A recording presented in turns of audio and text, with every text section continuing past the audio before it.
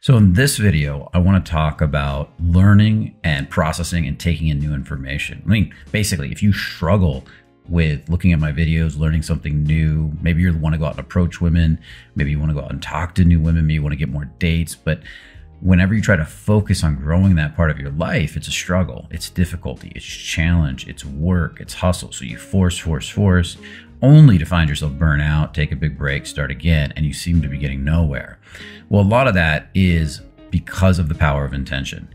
You your power of intention is off. Your ability to hold an intention is off. Now, I want to talk about that today. I want to talk about how to develop a powerful intention that will cut through all this resistance and actually start to get rid of it and start to grow your life in the direction that you've chosen to grow it and what might be holding you back in this area. So, uh, before we dive in, I want to thank uh, in my last video um, the four things that make you irresistible to women. Uh, somebody had this question. I thought about it. I thought this is a problem that probably a lot of you have, and it stops a lot of you from growing. Matter of fact, not only does it stop you from learning and growing, it actually stops you from having good conversations. If your intention is off in this area, if these two things, I'm going to talk about these two things that are really important, if they're off, then you're going to be stressed, worried, you're going to be in the back of your mind thinking while talking to beautiful women, and you're just not going to connect with them. So it has a huge effect in that area too. Now, we're about to get started, but before I get started, I want to invite you to like, subscribe, share, and comment in the video. Um, I don't want you to miss any of the valuable content we got coming out. I'm bringing out more and more awesome content and uh, that's uh, and I don't want you to miss any of it. So make sure again to like, subscribe, share, and uh, hit that bell notification too. Um, also, with that said, I got one more quick announcement. You guys all know I'm building another business called True Courage. Uh, TrueCourage.io is the is the uh, is the website, and uh, we don't have any social media for it yet, but we will be launching social media around that business too. It's not dating centric; it's success centric, life centric, enjoying life centric, and uh, it's going to be uh, it's it's a huge passion project for me. So if you want to get more involved in that, you want to know when the social media comes out, you want to know have updates as to what we're doing, go to TrueCourage.io. .io, dot .io, not dot .com, and sign up for the email list. Uh, we've only sent out one email so far, but we'll be sending out more in the next few weeks and setting up social media. So, uh, with that said, let's dive in. Now, there's two main reasons that you could be having trouble in this area, that you could be uh, having trouble holding an, intent, an intention. What the, the the viewer who asked me this question said was he's trying to watch that video and he's getting distracted all the time, and he really wants to watch it, but his mind wanders and he has a hard time holding intention. And uh, I had the same problem for many years. My mind was constantly wandering. I couldn't hold an intention and uh, I couldn't focus. And really, when I fixed these two things, um, that changed pretty radically. So, we're going to dive into those two things and talk about why that is. Now, when I had this problem, I'll admit that I thought I had it everywhere. But when I looked at my life, and I want to invite you to do this really quick, when I looked at my life and looked at things that I loved doing, I didn't have that problem there were certain things that I was really, really into, and I could go deep down a rabbit hole with those things and really learn a lot really fast.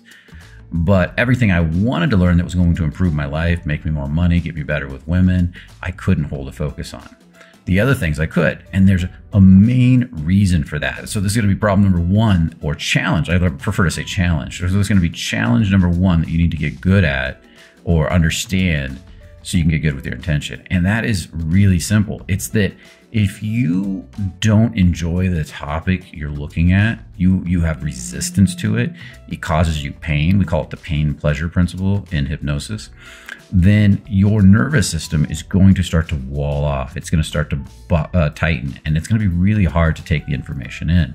Your uh, your neocortex is going to start to uh, pull in. You're going to go into the side brain. Your mind's going to start to wander. Your heart's going to close off. You're not going to get any emotional connection to the topic.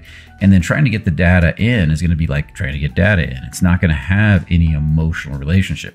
You see, information, not only does your, your intention expand with emotion as you really love something the pleasure side of the pain pleasure principle, not only do you get really into it, really begin to enjoy it, you begin to go in deep and you want to go deeper and deeper and deeper down the rabbit hole it also allows you to uh, uh, remember faster because you're associating it with really good emotions, which allows the brain to do its associative process and start to remember.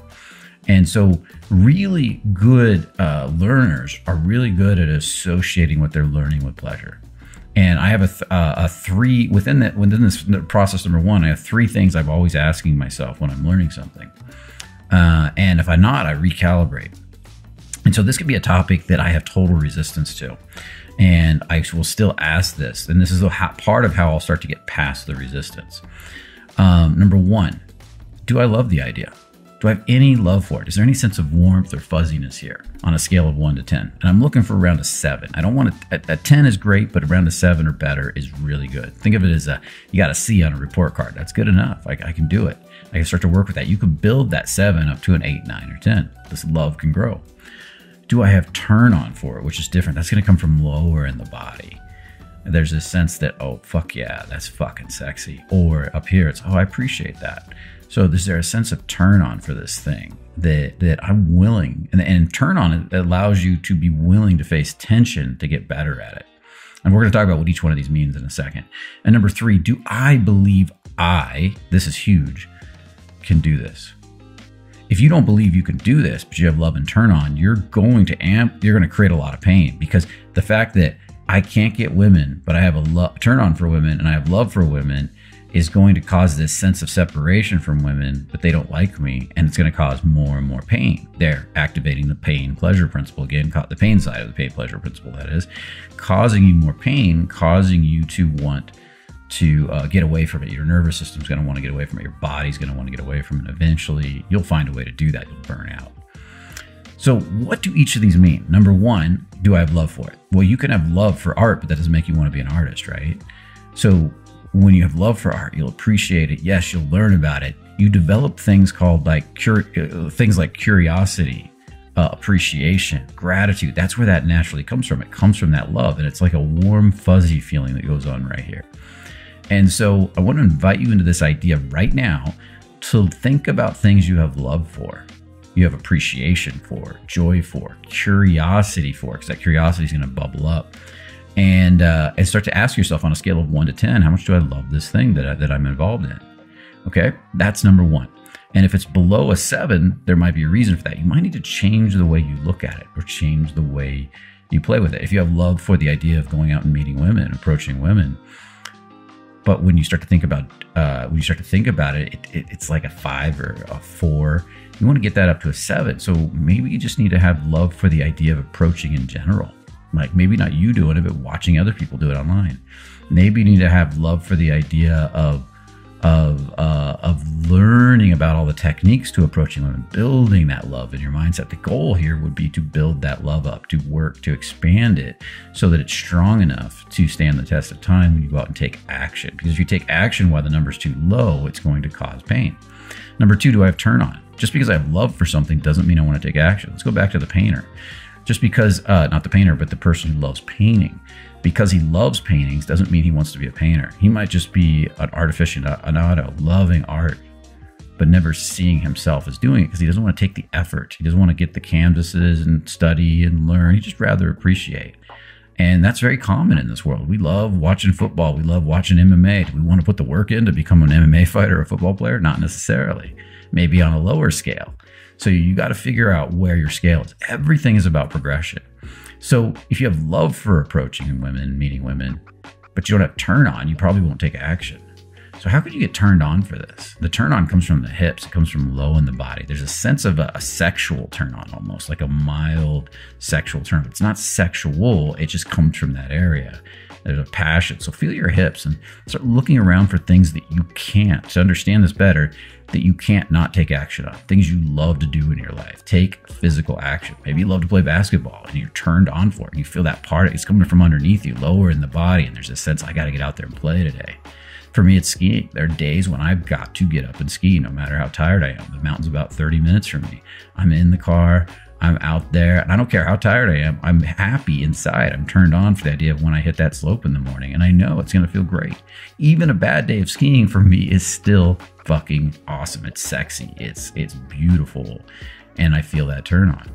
So that's how I can understand the turn on better. If you don't have that turn on for meeting, dating, learning, approaching women, you have to develop that turn on. You have to shrink down the amount of information you're taking in to a level you can you could find turn on four. and then you want to quit with the turn on still on. It's like i study for five minutes i stop studying in the when the turn on's high so that i'll want to get back to it later. Don't burn yourself out pushing yourself.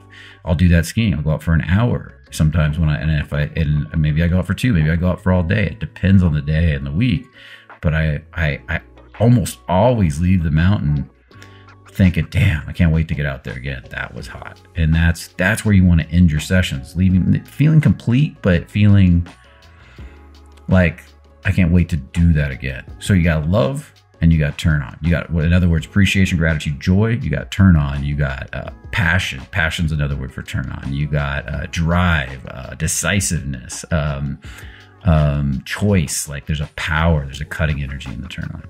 So both of those need to be at a seven on a scale of one to 10. And then the third thing you want is you want to have um, uh, uh, a belief. We talked about that earlier. Do you believe you can do it? If you don't believe you can do this thing, like I, Brian, women would like me, and so therefore I am capable of doing it. All the other numbers are going to be lower. And this is the one that could cause both the other numbers to crash. You could have love for the idea of approaching women, you could have uh, passion for the idea of approaching, when you step out there, it crashes because you don't believe in yourself. So this needs to be at a seven too, and then you can slowly push that up. If it's not at a seven, you don't have belief in yourself, then what do you have belief in? Do you need to go out and get a dating coach that can do it and so you can change your reality. You need to have that belief challenge. Maybe somebody that stands there with you and d- does it in front of you a little bit and then and then uh, and then you go wow that really did work. I didn't think that would work. And that starts to change your belief. You need to watch videos of guys doing this stuff men doing this stuff like anthony fearless anthony um, was a dating coach that, that worked for me uh, that has his own channel now, and uh, he's a good example. Watching him do it is is awesome because he loves to go out and approach women he gets turned on by it. He gets sexually turned on at the idea of approaching. Think about that for a minute. Um, because his belief is so strong, he expects women to like him. Do you need to hang around guys that have this reality or men that have this reality, make friends with them that don't understand why women wouldn't like you? Man, you're a man. Women get turned on by men. Of course they like you. Women like sex. Women like well, being out with guys. Really solid dudes. And so building that belief could be huge. Starting with just the idea. I always say start with the idea, learn about it, get turned on for the idea, and then it'll naturally grow into something that's bigger than an idea, something you eventually want to take action on. And that's huge too. Like for me, uh, moving to, to Montana, where I live in the mountains skiing all the time, I thought about that for a long time, actually for years in the background of my mind. And then one day I just started taking action. I, I, didn't even think about it. I didn't even plan it. I just I bought a house in two days. I was moving here. I've been I bought season passes, and it all just manifested super fast because I enjoyed the idea of it for so long. I had this image of this house with mountain views, and now I own two properties out here. I'm about to buy a third, and I'm, I'm having a blast. Best time of my life. So that's another great example. Now, so when you get those three things worked out, you'll start to grow your intention in any given area. If you want to learn about women and you think you're not good enough to meet women, every time you try to learn about women, you're going to be beating yourself up and therefore you're going to want to quit. And so that intention, that desire, that burning desire starts to grow as you build these three areas up. Now, number two in the in the in the two topics. So that was one, and that was three three things in the subcategory. Number two um, is you have to focus when you're working on these areas, these three areas, and the overall focus that you're developing, you have to focus on growth, focus on expansion, focus on what you're learning, and celebrating it all the time. So let's say you just spent 10 minutes studying something that I teach, uh, like one of my videos on success orientation, which is literally what I'm talking about now, or one of my videos on how to say hi to women with your heart open and it felt really good. Well, you want to celebrate that. Write that down in a journal. Say, yeah, I learned X, Y, and Z. Don't focus on what I'm saying here is don't focus on what's wrong. Don't focus on what you're not learning, what you're not getting right. Don't focus on how you're beating yourself up, how you're stupid. Focus on what you learned, how you grew, even if it's only a little bit. 1% can compound very fast into a huge change in 30 days, 60 days if you stay consistent.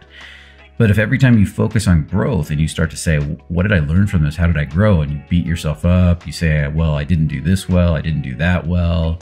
This was hard. I'm going to have to work really hard at this.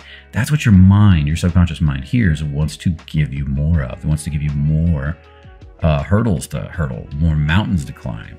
But if you're constantly teaching your mind about success, like I can do it. Oh yeah, I got this. Um, okay, I see how I screwed that up. That's awesome because if I see how I screwed that up, then I can do X, Y, and Z and it'll work better. That's really cool. Do you see the mindset difference there versus I see how I screwed that up um, and uh, I'll never get it right. That's the other attitude. So, this attitude of every challenge I look at, every problem I look at, is an opportunity for for growth, for expansion, and it's exciting.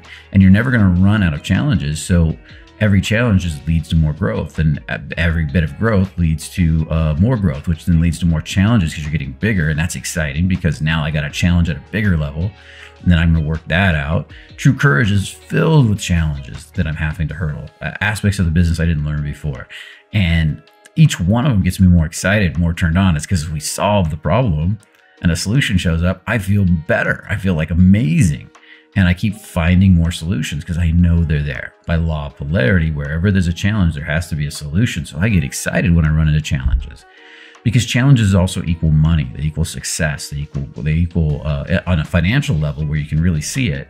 If you see problems and challenges and you solve them, that's how you make money. If there's no problems and challenges, there's no money to be made. So in dating, it's the same thing. Wherever you have challenges with women, as you solve them, you get more successful women. Means more women in your life. You got to change the way you look at it. It's called success orientation. Look at the world through this through this success oriented mindset and journal them. Journal them every day and then read them right before you go to bed. Read all your successes for the day, even if they're only 1% right before you go to bed. So you take them into your dreams. And your mind goes, oh, he wants more successes. And you're going to start dreaming about successes. You're going to start dreaming about possibilities you're going to start dreaming about having those beautiful women on your arms. And then eventually it will manifest. Um, so that's how I work on focus. Those two basic concepts uh, must enjoy and the, and having the sevens. I call it having the sevens, like being in Vegas, and um, and then focusing on growth, or what I often refer to as success orientation. And when I've got those two things nailed, when they start to become become unconscious competence, at first you're gonna have to work at it, but when they start to become unconscious competence, watch how your life grows. For these two ideas, it's very easy to take them down, write a couple quick notes about them, say, I'm going to do these, but then never do anything with them. And um, that's unfortunate. Uh, because a week later, three days later, it's very easy to go back to your old programming. Your old programming wants to pull you. So I tell people uh, when they study this, you have to go back and study it every day for at least 30 days, preferably three months, because this can have that much of an impact. This could turn you from poor to a millionaire, from sick to super healthy. This can be one of the most powerful things you ever learn. So you could even watch this video over every day for a week and then watch it every couple days and and just keep learning. And um, I probably have also have another video called Success Orientation in YouTube somewhere, and you could look that up if there is, um, and study that too. Now, with that said, hopefully you're really enjoying this video. The whole new company, True Courage, is going to be based on principles like this: how to create happiness, success, and propel you into the most powerful version of yourself possible. How to wake up every morning ready to seize the day, like my, my buddy Mark Iron says, is that you should be waking up uh, almost every morning ready to seize the day. And if you're not, then something's wrong. If you should only have one or two days off a month, is what he says. And that's super true. So true courage is going to be about seizing the day, about having a healthy body, healthy mind, and about really enjoying life. And uh, and when you live in CAP, it's amazing how much success comes to you. CAP, courage, acceptance, love, peace. And we're going to be teaching you how to truly access the courage, which then takes you into appreciation, joy, love, and allows you to live from that space. Now, with that said, I have a lot of private clients who are now starting to live from this space 70, 80% of the time. Watching their constant successes one after another is awesome. So, in True Courage, I'm going to start bringing those clients on so they can start talking about their successes and show you where they came from, where they're at now, and how much they've grown. So, definitely check out truecourage.io. Um, if you want to learn more about that, that's, that stuff will be launching in the future. Um, if you uh, haven't watched it already, watch the video that inspired this.